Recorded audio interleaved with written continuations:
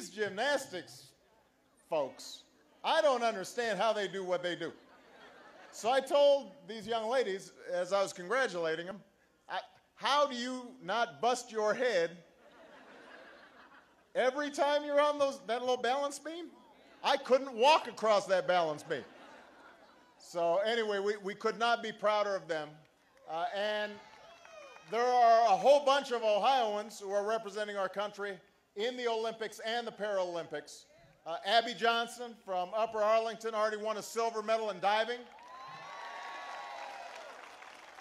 We'll be rooting for Army Specialist Justin Lester from Akron. He's going to be wrestling for America next week.